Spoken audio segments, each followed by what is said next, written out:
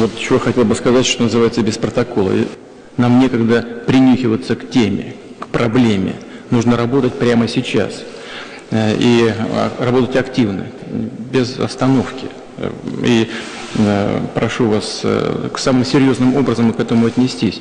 У нас есть реальные шансы, это вот действительно так и есть, реальные шансы продвинуться по этим важнейшим направлениям.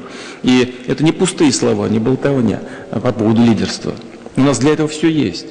И, и школы хорошие, и, и э, мозги э, вправленные хорошо, начиная с детства в специальных школах. Все, все существует. Да, конечно, во всех областях, и в образовании, и в науке, и в производстве есть и э, вещи, над которыми мы должны дополнительно работать. Само собой разумеется.